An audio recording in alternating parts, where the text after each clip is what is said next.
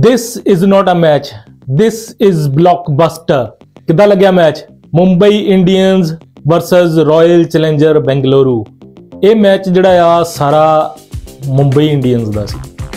ਨਹੀਂ ਮੁੰਬਈ ਇੰਡੀਅਨਸ ਦਾ ਨਹੀਂ, ਇਹ ਸਾਰਾ ਮੈਚ ਇੰਡੀਅਨ ਕ੍ਰਿਕਟ ਟੀਮ ਦਾ ਸੀ।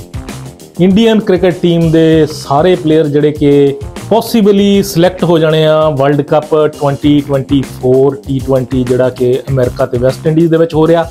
ਇਹ ਸਾਰਾ ਮੈਚ ਜਿਹੜਾ ਸੀਗਾ, ਇਹ ਉਹਨਾਂ ਪਲੇਅਰਾਂ ਨੂੰ ਹੀ ਬਿਲੋਂਗ ਕਰਦਾ ਸੀ। ਅੱਜ ਦਾ match high scoring match Royal Challenger Bengaluru ਨੇ ਸਕੋਰ ਤੇ ਖੜਾ ਕੀਤਾ। ਦਿਨੇਸ਼ ਕਾਰਤਿਕ ਦੀ ਇੱਕ ਵਧੀਆ ਪਾਰੀ ਸਕੋਰ ਤੇ ਖੜਾ ਕੀਤਾ। ਪਰ ਉਹ ਸਕੋਰ ਚੇਜ਼ ਕਰਨ ਲਈ ਮੁੰਬਈ ਇੰਡੀਅਨਸ ਨੇ ਬੋਲਰਾਂ ਦੀ ਉਹ ਧੁਲਾਈ ਕੀਤੀ ਹੈ ਨਾ ਅੱਜ। ਉਹ ਜਿਹੜੀ ਆਪਾਂ ਪੁਰਾਣੇ ਟਾਈਮ ਦੇ ਵਿੱਚ ਇੱਕ ਐਡ ਦੇਖਦੇ ਹੁੰਦੇ ਸੀਗੇ ਵਾਸ਼ਿੰਗ ਪਾਊਡਰ ਨਿਰਮਾ। ਅੱਜ ਪੂਰੀ ਵਾਸ਼ਿੰਗ ਪਾਊਡਰ ਨਿਰਮਾ ਵਾਲੀ ਧੁਲਾਈ ਕੀਤੀ ਆ ਮੁੰਬਈ ਇੰਡੀਅਨਸ ਦੇ ਬੈਟਸਮੈਨ ਨੇ ਆਰਸੀਬੀ ਦੇ ਬੋਲਰਾਂ ਦੀ। ਜਿਹੜਾ ਹੱਥ ਆਇਆ ਉਹਨਾਂ ਨੇ ਅੱਜ ਰਗੜਤਾ। ਉਹਨਾਂ ਨੇ ਨਹੀਂ ਧਿਆਨ ਕੀਤਾ ਕਿ ਮੋਰੇ ਮੁਹੰਮਦ ਸਿਰਾਜ ਆ। ਉਹਨਾਂ ਨੇ ਨਹੀਂ ਧਿਆਨ ਕੀਤਾ ਕਿ ਮੋਰੇ ਰੀਸ ਟੌਪਲੀ ਆ। ਜਿਹੜਾ ਆਇਆ ਚੱਕ ਕੇ ਬਾਹਰ।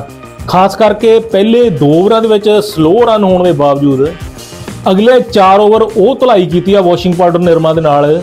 ਸੋ ਮੈਨੂੰ ਲੱਗਦਾ ਆ ਕਿ ਅੱਜ ਰਾਤ ਨੂੰ ਜਿਹੜੀ ਆ ਨੀਂਦ ਕਿਸੇ ਵੀ ਬੋਲਰ ਨੂੰ ਨਹੀਂ ਆਉਣੀ।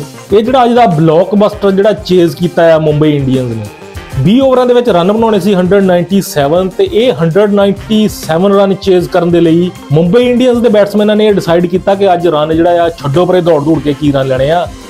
ਅੱਜ ਰਨ ਜਿਹੜੇ ਆ ਉਹ ਚੌਕੇ ਤੇ ਛਿੱਕਿਆਂ ਦੇ ਹੀ ਹੋਣਗੇ। 197 ਰਨ ਦੇ ਵਿੱਚੋਂ 37 ਰਨ ਜਿਹੜੇ ਸੀਗੇ ਦੌੜ ਕੇ ਇੱਕੇ ਦੁੱਕੇ ਮਾਰੇ ਆ।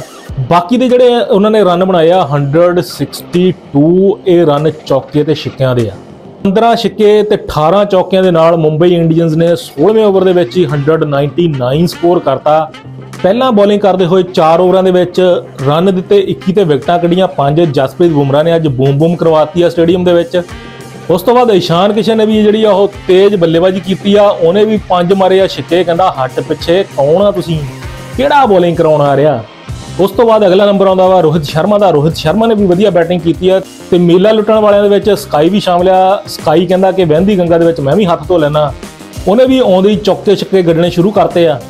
17 18 ਬੋਲਾਂ ਦੇ ਵਿੱਚ ਆਪਣੀ ਹਾਫ ਸੈਂਚਰੀ ਪੂਰੀ ਕਰਕੇ ਉਹਨੇ ਵੀ ਦੱਸਤਾ ਕਿ ਜਿਹੜੀ ਟੀਮ ਸਿਲੈਕਟ ਹੋਣੀ ਨਾ ਵਰਲਡ ਕੱਪ ਦੇ ਲਈ, ਮੈਂ ਉਹਨਾਂ ਦੇ ਵਿੱਚ ਅੱਗੇ ਆ ਸਭ ਤੋਂ। ਦੂਸਰੀ ਗੱਲ ਇਹ ਵੀ ਚੰਗੀ ਹੋ ਗਈ ਆ ਕਿ ਜਿਹੜਾ ਵਰਲਡ ਕੱਪ ਜਿਹੜਾ ਸਕੁਆਡ ਆ, ਉਹਦੇ ਵਿੱਚ ਸਕਾਈ ਦਾ ਜਿਹੜਾ ਹੋਣਾ ਜ਼ਰੂਰੀ ਸੀ। ਸੋ ਜਿਹੜਾ ਵਰਲਡ ਕੱਪ ਸਕੁਆਡ ਆ, ਉਹ BCCI ਨੇ 1 ਤਰੀਕ ਤੱਕ ਦੇਣਾ ਆ ICC ਨੂੰ। ਸੋ ਉਹਦੇ ਵਿੱਚ ਜਿਹੜਾ ਆ ਸਕਾਈ ਵੀ ਹੁਣ ਮੈਨੂੰ ਲੱਗਦਾ ਕਿ ਜ਼ਰੂਰ ਹੋਊਗਾ। ਸਕਾਈ ਦੀ ਜਿਹੜੀ ਇੰਜਰੀ ਆ, ਉਹ ਥੋੜਾ ਵਰੀ ਕਰਦੀ ਸੀ, ਪਰ ਇੰਜਰੀ ਤੋਂ ਬਾਅਦ ਅੱਜ ਸਕਾਈ ਨੇ ਜਿਹੜਾ ਆ 50 ਮਾਰ ਕੇ ਦੱਸਤਾ ਸਿਲੈਕਟਰਾਂ ਨੂੰ ਕਿ ਮੈਂ ਇੱਥੇ ਹੀ ਆ, ਮੈਂ ਹਲੇ ਕਿਤੇ ਨਹੀਂ ਗਿਆ, ਮੇਰੇ ਚਾਹੇ ਸੱਟ ਲੱਗੀ ਆ, ਚਾਹੇ ਪੇਟ, ਮੇਰੇ ਵੱਲ ਵੀ ਦੇਖ ਤੇ ਮੇਰੇ ਵੱਲ ਵੀ ਦੇਖ। ਜਦੋਂ ਹਾਰਦਿਕ ਪਾਂਡਿਆ ਗਰਾਊਂਡ ਦੇ ਉੱਤੇ ਆਇਆ, ਉਦੋਂ ਬੂਝ ਹੀ ਤੇ ਹੋਈ ਸੀਗੀ, ਪਰ ਮੈਨੂੰ ਲੱਗਦਾ ਸੀਗਾ ਕਿ ਅੱਜ ਹਾਰਦਿਕ ਪਾਂਡਿਆ ਦੀ ਫੇਰ ਬੇਇੱਜ਼ਤੀ ਹੋਊਗੀ। ਪਰ ਹਾਰਦਿਕ ਪਾਂਡਿਆ ਨੇ ਪਹਿਲੀ ਬਾਲ ਤੇ ਛੱਕਾ ਰੱਖ ਕੇ ਸਾਰਿਆਂ ਨੂੰ ਚੁੱਪ ਕਰਾਤਾ। ਉਸ ਤੋਂ ਬਾਅਦ ਜਿਹੜਾ ਹਾਰਦਿਕ ਪਾਂਡਿਆ ਹਾਰਦਿਕ ਪਾਂਡਿਆ ਹੋਣ ਲੱਗ ਪਈ। ਮੁੰਬਈ ਵਾਲੇ ਜਿਹੜੇ ਆ, ਹਲੇ ਤੱਕ ਭੁੱਲੇ ਨਹੀਂ ਆ ਕਿ ਰੋਹਿਤ ਸ਼ਰਮਾ ਨੂੰ ਹਟਾ ਕੇ ਜਿਹੜਾ ਆ ਹਾਰਦਿਕ ਪਾਂਡਿਆ ਨੂੰ ਕੈਪਟਨ ਬਣਾਇਆ। ਸੋ ਹਾਰਦਿਕ ਪਾਂਡਿਆ ਨੇ ਪਹਿਲੀ ਬਾਲ ਤੇ ਸਾਰਿਆਂ ਨੂੰ ਕਹਿ ਦਿੱਤਾ ਕਿ ਛੱਕਾ ਮਾਰ ਕੇ ਕਿ ਤੁਸੀਂ ਸਾਰੇ ਚੁੱਪ ਕਰੋ। ਭਾਈ, ਹੁਣ ਬਹੁਤ ਹੋ ਗਿਆ। ਅੱਗੇ ਮੈਚ ਜਿਹੜੇ ਆ ਮੁੰਬਈ ਨੂੰ ਜਿੱਤਣ ਦਿਓ। ਸੋ ਆਰਸੀਬੀ ਦਾ ਇਸ ਮੈਚ ਦੇ ਵਿੱਚ ਮੈਨੂੰ ਲੱਗਦਾ ਨਹੀਂ ਆ ਕਿ ਕੁਝ ਸੀਗਾ। ਵੈਸੇ ਪਹਿਲੇ 20 ਓਵਰਾਂ ਦੇ ਵਿੱਚ ਥੋੜਾ ਬਹੁਤ ਜਿਹੜਾ ਸੀਗਾ ਆਰਸੀਬੀ ਦਾ, ਆਰਸੀਬੀ ਆਰਸੀਬੀ ਹੁੰਦੀ ਸੀ। ਪਰ ਮੁੰਬਈ ਦੇ ਬੈਟਿੰਗ ਕਰਨ ਦੇ ਟਾਈਮ ਮੁੰਬਈ ਮੁੰਬਈ ਹੋਈ ਆ।